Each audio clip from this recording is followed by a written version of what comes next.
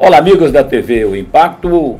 Com muita alegria estou recebendo hoje aqui em nosso estúdio a visita do novo presidente da Liga Esportiva de Santarém, que é também quem comanda o Tapajós, time profissional, que inclusive foi quem se salvou na primeira divisão do Campeonato Paraense esse ano, né?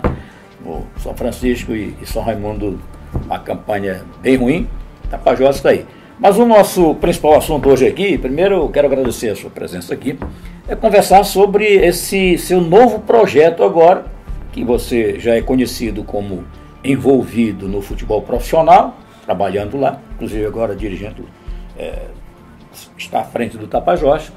E agora, de repente, eleição da Liga Esportiva de Santarém, né, uma liga amadora, e você, que cuida do futebol amador, do esporte amador, e você decidiu colocar o seu nome e deu uma goleada de 12 a 1 lá. Me conta essa história e qual é esse projeto meu, Sandy Clay. Olá, eu, eu agradeço a oportunidade de novo, né, estar aqui, isso é muito Prazer bom. nosso. Eu acho que isso é um elo para o torcedor, para o torcedor ficar bem informado sobre Exato. o que anda acontecendo no futebol. Perfeito. Na verdade, é, tem a ver com o que você falou. Hein?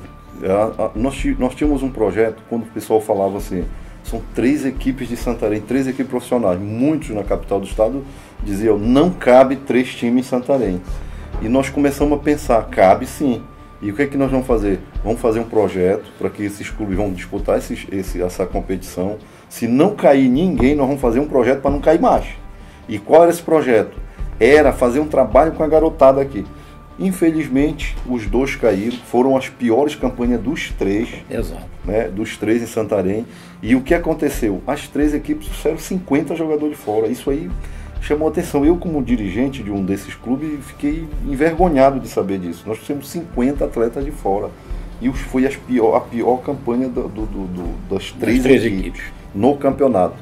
Mas assim, dentro disso, as duas equipes caíram e nós mantivemos o nosso projeto o que era fazer um trabalho junto ao futebol amador. Para quê? Para que revelasse jogador, para que essas três equipes pudessem aproveitar esses atletas. E nós hum, tínhamos a liga como a, a fomentora de todos esses, esses futebol amador e não estava funcionando. Não está caminhando com as próprias pernas.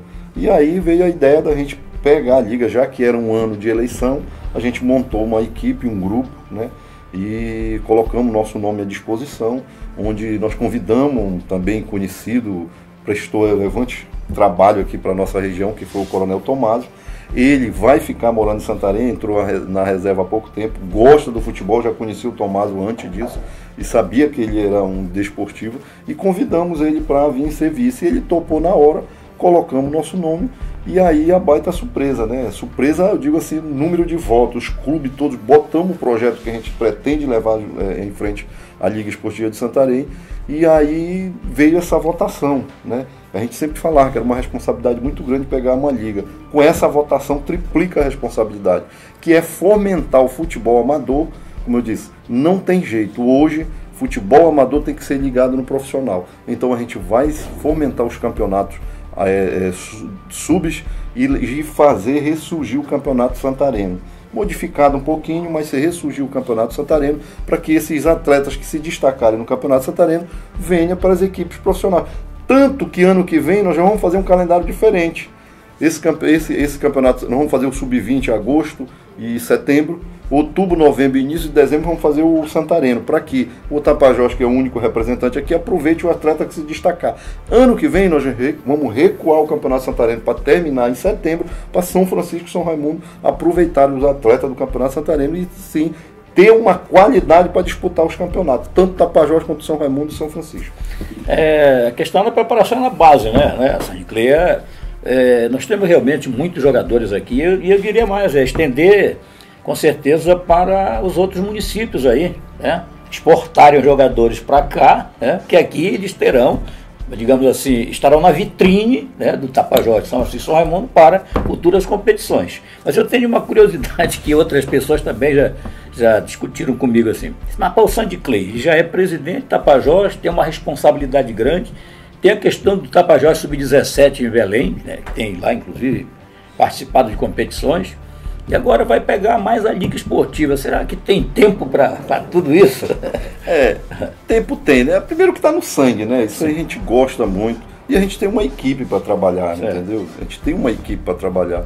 E você falou na base.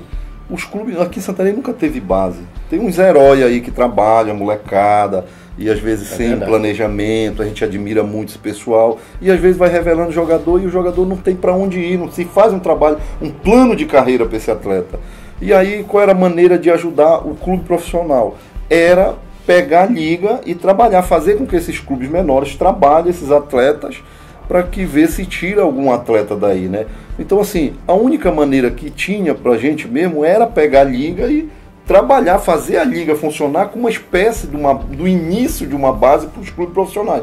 A gente sabe que custa muito caro manter uma base. São Raimundo não tem condição, São Francisco não tem condição, Tapajós não tem condição. Então, uma maneira, uma ideia nossa é isso, fazer esse trabalho e se usar como se fosse uma base dos clubes, né? E aí fomentar e quem que vai ganhar? Porque o que acontece, acontece muito, é, o, clube, o clube profissional vai começar a pré-temporada, aí não demora, vem fulano, cinco, não, eu tenho jogador, dá para fazer avaliação, demora, tem 30 jogadores, 50 jogadores para fazer avaliação numa pré-temporada, vai atrapalhar a pré-temporada dos clubes.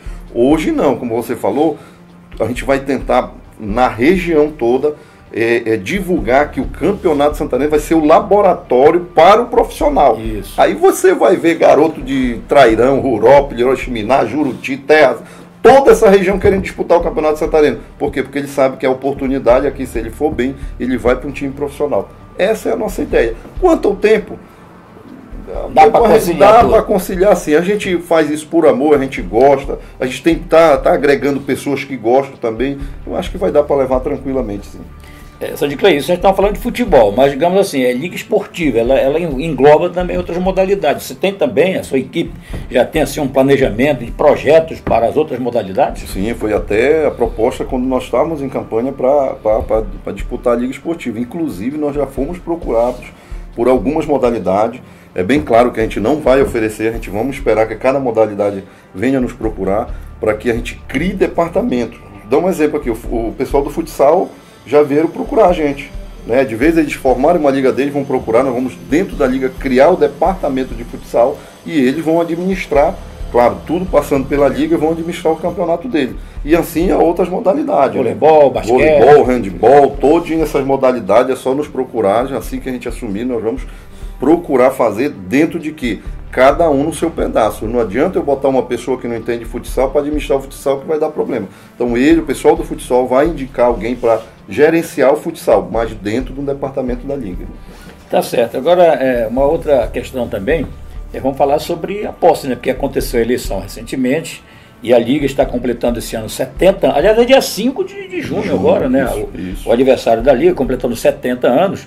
E você já na condição de presidente, presidente eleito da Liga, já está programando alguma coisa? Sim, nós falamos. Que a posse é dia 5 também, é, né? Nós falamos com, com o atual presidente, o Jailson, e ele nos deixou à vontade para a gente fazer alguma coisa e nós tivemos uma ideia, já que vai ter a posse, nós vamos fazer uma comemoração dos 70 anos é, da Liga Esportiva de Santarém, fazer um coquetel, estamos estudando como é que se vai fazer, já tem um local, o Sindicato dos Professores lá, muito bom lá o espaço. E dia 5 nós vamos fazer o aniversário da Liga e a posse também, né? Aí daí para frente que Deus nos ajude aí para a gente fazer um bom campeonato, como você falou. Não vai ser, a gente tem que fazer um bom campeonato, não vai ser bom só para Santarém, vai ser bom todo para a região, porque é impressionante. Os presidentes das ligas do município, até porque nós fomos um coordenador de uma Copa Oeste feito pela federação ano passado aqui, e nós tivemos esse contato com os presidentes da liga. E todo mundo ligando que estava torcendo para a gente, para a gente fazer uma união eu sempre falei o seguinte, Santarém sempre foi polo de alguma coisa, sempre foi polo. Por que não vai ser do futebol? Por que não vai ser do esporte? Então essas ligas elas estão contando, não é só os, os presidentes de clube, não é só o Desportivo de Santarém que estão apostando nessa nova gestão. São as ligas vizinhas aqui do, de todo o oeste do Pará, está apostando nisso para a gente levar. Até já temos uma proposta já para a federação, que cada clube campeão de cada liga nós vamos fazer um campeonato para sair para disputar lá em Belém. Então foi um, um, que as ligas falaram e nós vamos manter isso. Já falamos com a federação, a federação já aceitou. Então a gente vai ter uma ligação direta entre a federação. E essas ligas, elas estão contando com Santarém para Santarém ter a, a, ligação com a federação. É, bacana aí. É, sede da Liga, 70 anos, mas a Liga sempre funcionou em espaços emprestados, muitas vezes apertado, passando vexames. Qual é o projeto do da nova diretoria da Liga em relação à sede da Liga. É, isso nós tivemos. Nós conversávamos muito com o ex-presidente, que era o Silvestre Campina, era um sonho dele ter uma sede própria, né? E nesse tempo a gente nem pensava em pegar a liga e agora nós vamos pegar a liga e uma coisa que nós garantimos para os presidentes de clube, para todo mundo que é envolvido nisso, que no máximo um ano, um ano e meio a liga vai funcionar no seu próprio prédio. Nós já temos, temos sim alguns locais, terreno, para que, que, que pode ser doado para a liga, a gente está decidindo qual vai ser provisoriamente a liga está tá funcionando ali na Coab, ali não, não é muito bacana, a gente vai para algum outro local a partir do dia 5 e nesse local que a gente está indo, no máximo é passar um ano, um ano e meio no máximo e assim a gente já tem a liga. É, um ano e meio, daqui para o final do ano que vem, com certeza a gente inaugura o próprio prédio da liga. É uma, é uma promessa nossa a gente, no final desses três anos. Além de ser uma necessidade mesmo. Né? Exatamente, é. como você falou nisso. A liga sempre pula para um lado, onde é, já não é mais para cá, já é para ali, é alugado, é no prédio público, já não é e tal. A gente vai acabar com isso. É uma promessa que nós fizemos que no final do nosso mandato nós vamos deixar a liga no seu próprio prédio, vai ter um endereço próprio. Assim. Vou falar em Tapajós, o Tapajós tem, tem a equipe sub-17, sub né, lá em Belém, que disputa. Inclusive, esse ano você até contar melhor para gente essa história que já está agora é, não apenas cedendo o nome como era, agora é o Tapajós mesmo, né, que tem uma equipe já programa, que tem um planejamento e, e, executa esse, esse projeto lá administrando o Tapajós lá de Belém, que está disputando o Campeonato Sub-17. Mas aqui o, o, o, Tapajós acaba de ganhar o Sub-17, é isso? É, é isso. Parabenizar todo o desenvolvido, parabenizar todas as equipes que participaram desse Campeonato Sub-17. Foi muito bom. Né? A gente sempre fala assim, ó, com toda a dificuldade que a Liga teve, fez um campeonato muito bom. Você foi no estádio lá, o pessoal estava até brincando, deu mais gente do que no Raifran. Entendeu? E o tanto de gente que tinha lá, família, torcedor, é isso que a gente quer. Então imagina se a gente conseguir organizar um campeonato, é, divulgar bem direitinho. Agora é bem importante. É, e com isso o Tapajós se surgiu, se sagrou-se campeão. A gente tem o Tapajós lá em Belém, tem uma base lá do Tapajós trabalhando, e inclusive nesse campeonato já jogou um jogador titular que era o Henrique Zagueiro, era da base do Tapajós lá em Santarém, lá em Belém, desculpa, e já foi um resultado que saiu de lá, e não é diferente com essa molecada que a gente vai trabalhar aqui tentar tirar essa molecada para levar profissional. Esse é o objetivo. Acabou aquele negócio de jogar o Campeonato Santareno e foi campeão, comemorar a taça e ir para casa, acabou. O, o, o, atleta hoje joga, ele tem um pensamento, virar profissional, isso é bem certo. Ele quer virar profissional. Se vai virar, a gente não sabe, mas ele quer trabalhar. E vamos trabalhar também na parte social, né? Tá vendo como é que está a nossa juventude, a nossa molecada. Vamos tentar trazer para o esporte, não só o futebol, mas trazer para o esporte. Eu acho que a sociedade santarena, ela só tem a agradecer se vier um serviço bem, bem claro de falar. Não sou eu que vou mudar isso, é uma equipe. Presidente de clubes, a todo, todo o pessoal envolvido, a imprensa é fundamental nessa parte, parceria muito forte com a imprensa e a nossa equipe, estando à frente lá da Liga, a gente tende a melhorar e fazer o bem para a sociedade santarena.